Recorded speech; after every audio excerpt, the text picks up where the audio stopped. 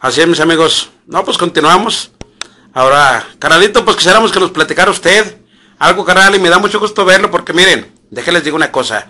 Él es un personaje en Aguascalientes, y digo personaje porque todo mundo tenemos un personaje en Aguascalientes, lo que hacemos y lo que somos. Y aquí el amigo de barrio, créanmelo, mi admiración y mis respetos para él, viera cómo trabajó para que los apoyos en los hospitales que se hicieron los recorridos en Aguascalientes, él fue uno de los principales.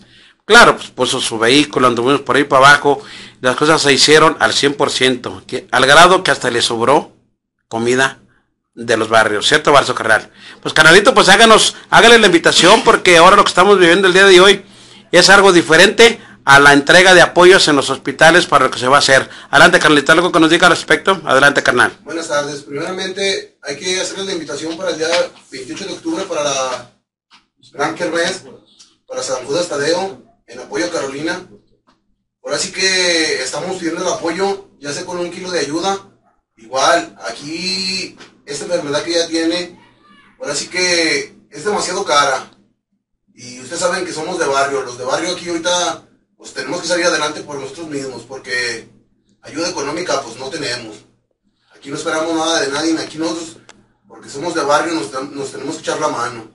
Simplemente echarle ganas, hay que echarle motivación a, Carolina para que salga de esta enfermedad y va a ver que todo va a salir primeramente bien.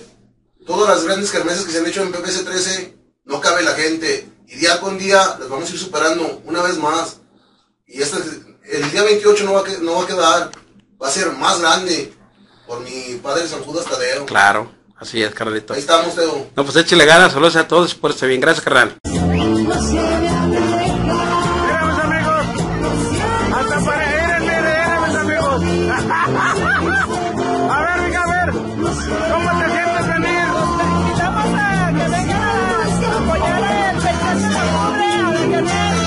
apoyar a niños